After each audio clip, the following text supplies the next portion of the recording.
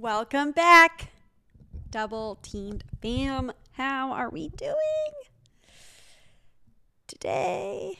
We're stressed as fuck. We leave tomorrow. By the time this posts, we will probably be in Europe already. We leave tomorrow. I feel so behind. I have so much editing to do still. This episode still needs to be edited. and our flight leaves tomorrow. Um, on top of other shit. Um, We're just gonna make this short and sweet. Yeah, but I was gonna say we're posting this episode, and then you won't. We're I've got a vanilla Sunday lined up, um, but then you probably won't see us for about a week, week and a half ish, before we post the next episode. So yeah, we're taking a little break while we're in Europe. Gonna enjoy ourselves and not focus on pod stuff. Uh, But we always take a little break in July, so it's okay. yeah. This was just a short break since we took another short break when we went to Dubai. But anyways, How's everyone doing? how are we? Yeah. What fun stories do we have from recent past? Oh, we um this was going to be kind of the a topic for today's episode anyways.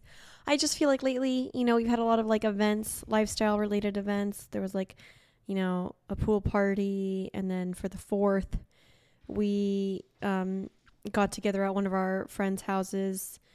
You know, so it was like a big lifestyle group there and we've been bringing around some of our vanilla friends to our lifestyle group and to see how it goes. to see how it goes. Um, and the pool party specifically, Cami brought one friend who we'll call him D. D. Yeah. Anyways, we'll call him D. And we told him going in, like, hey, it's just a pool party, but you know, play can happen. It, you know, it might, it might not, blah, blah, blah. Uh, but we kind of just wanted to like dip his toe in to see how he would do because we would like to invite him to other parties as well. And so it was, you know, he I thought did a great job. Yeah. And so between him and M, we've been bringing, you know, vanilla friends to a lot of lifestyle events. And so Well, I mean, I want to call them We like thought we'd full little- vanilla. Like they're curious, or like why are you talking like that? like what? They're curious. Okay, sorry, they're so- curious. That was so valley. I'm just saying curious. Okay, that was so valley girl. Anyways, No, anyways, they're they are curious. Did I, am I saying curious wrong? yeah, you're saying it weird. No, it's just curious. Curious. Curious. I don't know. I hate this. Okay, I don't like the way you're pronouncing it. Anyways, Whatever. No, they were curious about about. just stop saying that word. they were interested. They had some interests interest in in the in lifestyle. the lifestyle. or have like at least heard of it. And that's what I was going to talk about. It's like, you know, if you're going to introduce vanilla friends to lifestyle friends, there's a way to go about it. It's a slow progression. It's a slow progression because get when I think about for example like like we introduced like uh, we had a more vanilla friend group interact with a lot of our lifestyle friend group on the 4th. And had That it been like so interesting. it was, but had it been like our rave fam and our lifestyle fam coming together, that would have been really interesting. It's just different types of people. And that's what I'm saying. So it's it is it does have to be a slow progression. You you kind of have to like breadcrumb them in or like sprinkle them in. That's why with D, you know, Cami invited him to the pool party because she was like, okay, cool, he'll be around everyone, but he won't feel the pressure of like a full on play party, you know, about around a bunch of people that like he's never met before. Because at the end of the day, like it is intimidating to bring someone to a play party for the first time and them not know anyone, not you know, having ever experienced that, not really sure what's going to happen. Like, I think back to all the times that I've brought vanilla dudes to play parties and, like, I try to, like, give them I'm never doing that again. YO with, we'll call him S. S, yeah. Yeah. No. Yeah, but remember when I brought B? He did great. Oh yeah, he did. But that was because I literally sat him down before we went over to the play party I did that with S too. and I talked through him and I talked him through like so much shit. At the end of it, he was like, "I'm intimidated and scared to go." I'm like, "No, don't be." The point of that was to just like make you know make you aware of like things that can happen or will happen, just so that like you don't freak out. And if they do, but then he had a great time. He did phenomenal. We had a threesome. He you know, ran into someone that he had hooked up with before and you know, he did great, but he, I but even then when I brought him back then, like I had sprinkled it in. Like I think I had asked him like a few times, told him a few stories. He showed some interest and then finally one day I was like, "Yo, do you want to come with me?" and he was like, "Sure." And then he said he would go again. I'm pretty like with S. I was so like, okay, this is like how what this is what's gonna happen. Like even you know, But you know the thing is even after me, okay, even at Fourth of July, we'll call him G. I was telling G that he should come to a play party with me. You know who this is. You saw me with him. Oh, okay. Okay, sorry. Anyways. I forgot about that. So at Fourth of July, this other guy that I was, you know, that I'm interested in, always had a crush on him. Anyways, I told him to come to a play party with me sometime. And I, you know, and then like a day or two later, we were texting about play parties and he was like had a bunch of questions and I was answering them. And as I was answering them, he was like, oh, okay, like I feel much better about this. Like I want to go to one in the future, like, you know, because of the way that I broke it down. And it's so funny, like, the way that like People, perceive. yeah the way that people perceive sex parties when they haven't been to one because for example g was like what if someone comes up to me and i'm not interested and i'm like then you just say no like And they're totally cool with that. that's it yeah and that's what i'm saying i'm like i've been told no at sex parties before so have I. i think it happened like twice i don't know Believe it or not, yeah. I and I've told people no before. And you know, even like the some of the play parties where it's like, you know, you have a consent talk or whatever, it's always stressed. If you don't want to play with someone, you just say no or not now. They the people will get the point and they won't be offended. And if it if it's if someone at a play party it you say no to and they get offended, then you know that that's probably one of their first times attending a sex party. And you should probably let the host know so that that person is either not invited again or, kicked out. given a talk to. Yeah, and here's the thing about play parties is a lot of the times like see something, say something. Like Yeah. if there's any situation where you feel where you feel like, oh, that was like interesting or not good, immediately tell the host or whoever's throwing the party because I can guarantee you they will solve that issue right then and there. It's like we talked about in that one episode. It's all about maintaining the safety and security of everyone. So like they take Yeah. that seriously. But yeah, another perception is like, you know, people are like, "Oh, so do you just fuck everyone there?" No. No. No. I, and that and that's another thing. I was telling G, I was like, I maybe fuck at like fifty percent of the parties I attend. yeah. The It- only t- the only times you'll really see me like truly like go at it is if I'm at a play party where like a lot of my friends are attending and I feel safe and comfy. yeah. Not But that I don't feel safe and comfy at other ones, I do. I'm just saying like if it's a lot of strangers, I typically will like v- take a very slow approach. And I was explaining that to G as well. I was like, you know, you don't have to play with anybody. You can just go to watch. And there is just like the party aspect of it where you're just hanging out with cool people. There might just be other people having sex around you, you know, things like that. So yeah, but I think the key is if they get it like just it's slow, slow progression, slow approach. Like if you've got vanilla friends, first make sure that they've expressed some sort of an interest in the lifestyle. Yeah, you're not, you don't. It reminds me of it that up. one episode. Uh, what was the? There was a show. I can't remember what it was, but basically the the couple was just like, "Oh, come with us to a party," and the couple showed up, and then it was a sex party, and they were like, "What the fuck?" Yeah, you don't do that. No, No, you gotta you gotta let them know. Like, oh, I went to a sex party. Like, tell them some stories. Tell them what, how, what you thought about it, Also, and then and then you know see if they express interest, and if they do, then you can be like, oh, if you ever want to go, like you can come with, and just then have good discernment. I feel Yeah. like you and I have really good discernment of like being able to tell like okay, this person we can definitely bring in. It'll be a good vibe. And th- with that, let me say, yeah, that's on you too. Like, discern which friends are gonna feel uh, like are gonna do well in that environment and which one aren't. And let me give you some examples. If they are the jealous type and they're they have a lot of insecurities, they're probably not gonna do very well at a sex party. If they, which you know, nothing wrong with that. We all have our issues, but at the end of the day, like you're walking around a ton of naked bodies. So, like, of course, like you kind of need to be pretty confident and secure in yourself. That's one thing about D and M both is they're both very like secure, confident people. Yeah. And then also like, you know, social people, people that are just like to have a good time, like to talk to people. Um, you know, they do well in social settings. I think that you can gauge that pretty easily around like friends or strangers and whatnot and see, okay, so, you know, if I take them to this party, they may not know everyone, but they are pretty down to at least engage in some conversations and talk to people. They don't have to play, but if they're at least willing to like be social and friendly, like that's always good. And then, you know, if they're if they're the shy type, Like for example, tread like, lightly. With our rave friends, we know exactly who would be down for a play party and who wouldn't. Yeah. Yeah. Upon 100%. meeting new people, I can immediately almost tell if like they'd be down. You know, it was so funny. Like at the fourth, at we were at a rooftop at our friends, and then at one point, you know, we all went to the beach, and it was like this huge beach party, and I saw like some of my lifestyle friends go like mingle with their own vanilla friends, and I like at one point I I walk up to two of them, and I was like, "Are these your vanilla friends?" And she was like, "Yeah," and it was just so funny to me because you know and then like i met a few of them they're very nice people but like i could also just like tell okay yeah these are very vanilla people Yeah.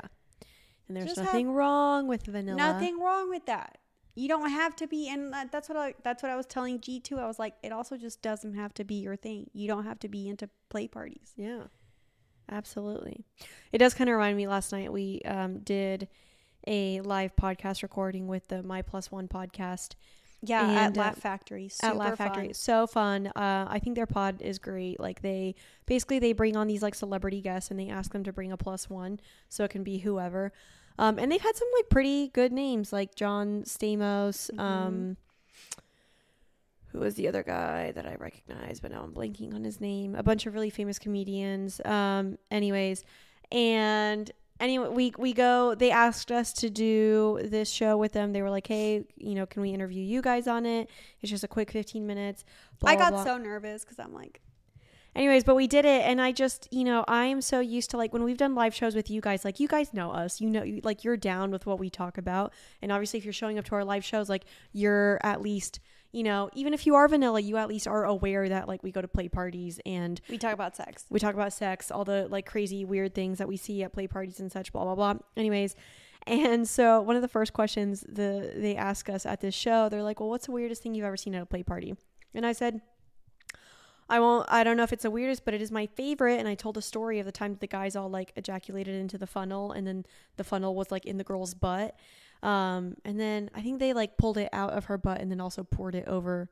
Anyways, I don't remember that there was just a funnel and people coming into the funnel and the funnel was in her butt. Anyways, and as as I was telling this story, like I look across the crowd and like half the faces are like, "Wow," and the other half are like, "What the fuck?"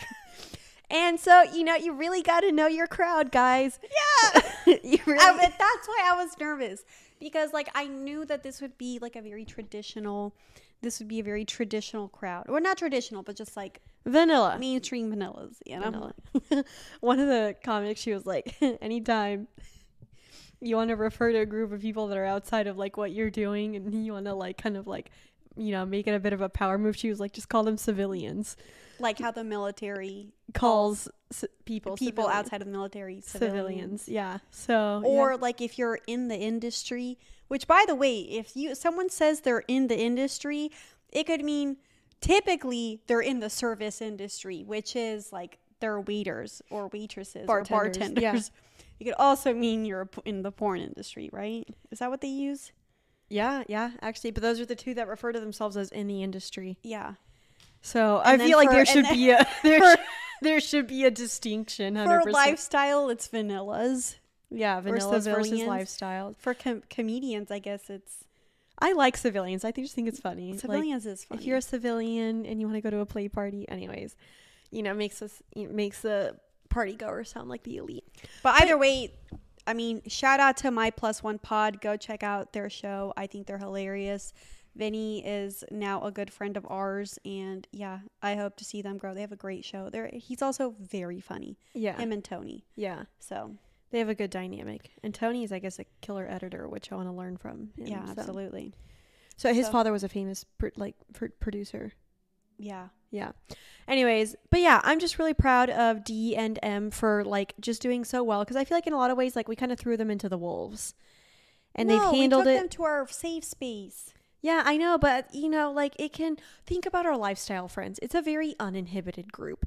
Everyone, like upon meeting, often if they know it, like if you know each other, like you're making out, you know, there's like with a lot of them, you know, Grab butts. yeah, grab butts and such. Like, and they're not going to do anything without consent, but like you know, I they already know they can grab my butt because I give them consent. Sometimes they they will even still ask, and I'm like, yo, you've been grabbing my ass for three years now. You don't have to ask anymore.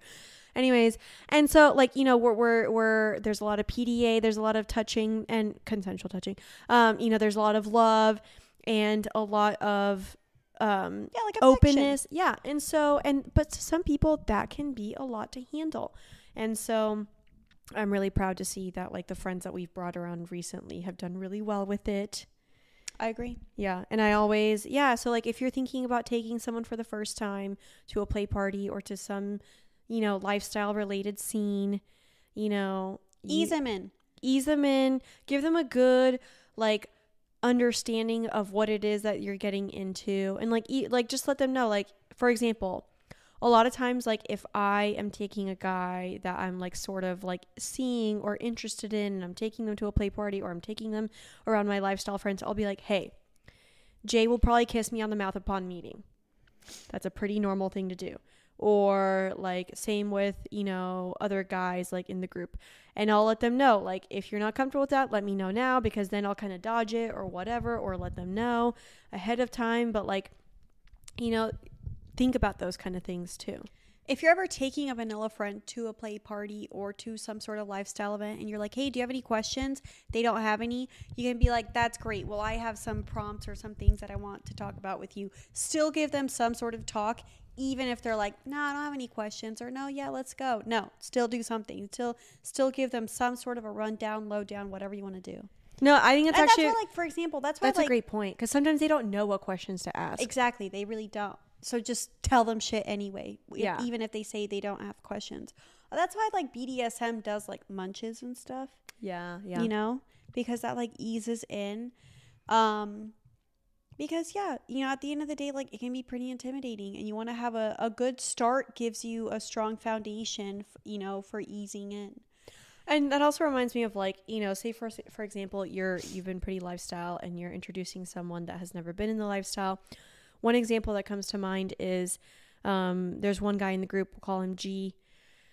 He recently has started seeing this girl, we'll call her T.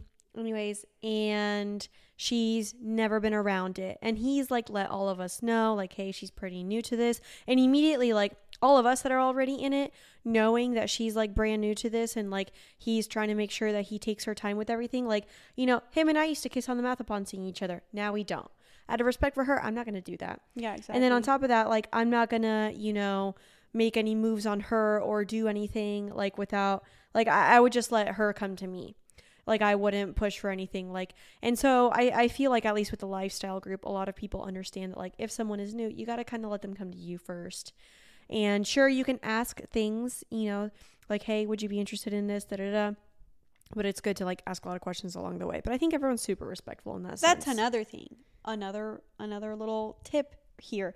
If you're bringing a new person into the group, let all your lifestyle friends know. Hey, so and so has never been to a play party or Yeah. hey, so and so is new to this scene. Yeah, let them know Because know. then they know to proceed with caution, which I mean people generally do anyway, you know, when if, if it's someone new coming into the mix, you take your time getting to know them. But just that extra level of like communication goes that way they know and they can kind of understand to maybe be a little bit more sensitive to their Yeah. needs you know because otherwise they may act as you know as they normally would without knowing and then like either something gets said or something is done or whatever or like the other person's like maybe in that moment they were like oh i actually didn't like that you know so It, it yeah is- yeah. I mean, like it's important to know that when it's someone's first play party. yeah i believe d after having been to the pool party which the pool party was just like very tame Super tame. yeah i mean i ended up having a threesome there but for the most part it was pretty tame I didn't do shit. I just was in the pool. And um, I mean, I saw some other people kind of messing around, but like it was pretty tame for that group. And so I remember afterwards, he was like, okay, he was like, that was kind of a tease. Now I'm ready for like a full on play party. Oh, and one last little bit of advice if you are bringing someone into the play scene, they're new, they're a dude, they're wondering how their stamina is going to keep up at a play party. Totally get it. Very valid concern. Go ahead, give them some joy mode. Yeah, if Have them take a little to the scoop. pill, take the supplement. Yeah, have them take a little scoop before they get going, uh, before you, you know, walk into the party. And then that way, it's like pre workout for sex. They'll be ready to go and and feeling like a young stallion. That's an inside joke. um, Yeah, it is an inside joke. No, but yes, it's true. Like that's one thing you want to keep in mind, especially you know when you're going if you're taking a guy to a play party for the first time, they're gonna be nervous. There's gonna be performance, um, not issues, but just you know it's not gonna be normal. Um, so it's definitely good to have a product like Joy Mode, which you know is a supplement that will stimulate flow to the area and you know get you nice and ready. Um, so yeah, and of course we have a promo code. Go to usejoymode.com and use code double team and try Joy Mode out at your first play party. Yeah. So, You know, it was so funny. This didn't happen at the pool party. This was actually like a few nights ago. I don't know why this reminded me of that. Well, I was I was trying to take see if D wanted to go to that. I needed to take a plus one too. I went to a play party. It was a small one, 30 people, so Nikki didn't go. And I wanted to take someone, but no one was available because it was kind of a last minute invite, which is totally fine. But anyways, I get there and you guys will never believe who was there. A, I, I pull up and I knew that one of the guys that I mean, I mean he's sort of a play part, a very casual partner. Anyways, I knew that he was gonna be there. He was one of the guys that fucked me in the bounce house, um, it during Halloween's play party. You know that one play party where I went absolutely wild. Um, anyways, but you'll never guess who was at this or Saturday's play party. Who? The other guy from the bounce house, the 21 year old. oh, both of them were there? Yeah, I know, and it was so funny because I'll, I ran into uh, we'll we'll call him SP. I ran into SP, which is a 26 year old from the bounce house, and I was like, oh my god, you'll never believe the other guy from the bounce house Halloween is here, and he's like, what? No, he's not. I would have noticed. I would have recognized him. And then we're walking, and he like, and the other guy's walking our direction, and he was like, oh wait, and the other guy looks. they both like look over my head, and they're like, wait, are you? and it was just such a funny moment. They're like, "Yeah, I thought I recognized you." Like super broy, and I'm over here like, "Do over. Let's go again." We didn't, which is fine. Um, Oh, why didn't y'all? um, I honestly, I like, I, I was taking some time to like. It took me kind of a while to warm up, Mm. mainly because like I'm in my luteal phase right now, so that's typically not a time when I'm like super horny.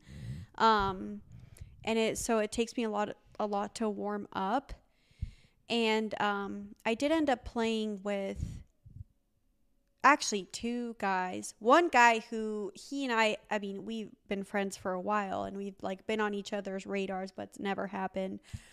But he and I were going at it for a little bit, and then I started getting cramps, and I was like, "Oh my god, I'm I'm about to start my freaking period! Like, what the fuck?" So I like go into the bathroom, and I thought I was gonna start my period. I didn't. Um, I was just cramping like I was. I was having like a low key mental breakdown in the bathroom because I thought like my cramps were actually really bad. Um, and then this one guy who I've definitely had my eye on for quite some time. Um, and he was, I was like, I've never heard you talk that much. And he and I were having a full blown conversation. And he was like, Well, maybe I was just shy around you because, like, I always thought you were like super hot. And, like, I wanted to, you know, play with you, but I was just being shy. And I was like, I was like, We've wasted so much time because I have had a crush on you. So, anyways, he and I had a very fun time. And, uh, and that was a, that was a fun little Saturday night. But yeah, it did take me a while to warm up. So by the time it actually SP drove me home, by the time I was ready to go, he was like, we live near each other. He was like, oh, I'll take you home. So we did not do a do over with other bounce house guy. I went to bed at like 10 o'clock that night. It was glorious. I think I went to bed at like one. I um yeah. Our friend, we had a little girls' night. She came over. We had some dinner. Came, we went to the play party, and then I went to bed because I got up at six in the morning. Um, I don't know if any of you. Oh, well, no, because I was dating him before the pod. Oh wow, yeah. Well, actually, it was right around the time. Okay, I don't know if any of you oh, like if you've been here since day one. There was um, literally day one. yeah. literally day one. There was a guy that I was seeing before we started the pod. He was a, a firefighter, and um, we dated for a few months. And then whenever I started my divorce, I was like, "Can't do this. Sorry, bye." And he always like missed me, and you know, just yeah, he would text me a lot over the years and be like, "I miss you. How are you?" Blah blah. blah. And I always kind of dodged him. And then randomly, I saw him on Instagram the other day, and I was like, "Wow, he's looking good." Shit. and so I messaged him, and we went and grabbed coffee. It went great. And uh, and then we decided to, uh, you know, he was getting off of work early morning, and I was like, "I'll come over, and we'll have some fun." And uh, we did. I went to the So- plant store. Nikki was like, "Yay, more plants," but like I wasn't gonna be home. While Oh wait, you no, no, I'm that that was the other time. I'm talking about the when I woke up at six in the morning to go over to his place. Oh right, right. What was? But it was just so weird because like I haven't seen him in three years, and we literally picked up right where we left off. It was That's like so no nice time had passed. energy though. Yeah, And he's vanilla. he is vanilla. So the this recruiting vanilla process is gonna take some time. yeah, and I've already like Started and- the preliminaries. yes, and the preliminaries usually include like what would hypothetically what would you be okay with, and what wouldn't you be okay with. You know, and so and then going from there. And I'm like, okay, can we at least go to a play party and like, you know, would, would just play with each other but not hook up with other people? And you're like, yeah, I'd be okay with that. Oh really? Yeah. And I was like, okay, you know, we'll see. Anyways, uh, but that it's Don't just we have a pool party coming up? You should invite him to that. We do Yes, when? it's on the calendar. I'll show you. Oh, that one. Mm-hmm. Um, I'll leave it TBD. We'll see. Okay. Anyways, but it has been fun reconnecting with him. He's got a phenomenal penis and body. He's six six. You know I like my tall boys. Point being, you know, When you're converting civilians, I love you. which also like, and I hope the Jesus people don't come at us because y'all literally fucking go door to door yeah. and If y'all can convert people to freaking y'all don't even ask Christianity, immediately yeah. If y'all can convert people to Christianity, we can convert people to freaking non-monogamy. Non-monogamy, fine. yeah. I just want to make that distinction because I converting can kind of sound like a dirty word. But at the end of the day, like, introducing, exposing. introducing, exposing sounds like it's bad. no, exposing someone to something just means you're sure. Yeah, okay, fine. Okay, but intro- Introducing introducing is also fine. Yeah. Because I mean, it's Yeah. not converting. We're giving them a choice. You know. Oh, absolutely. Oh, you're right. You know what? Have That you is a heard good about our. Lord and Savior sex parties?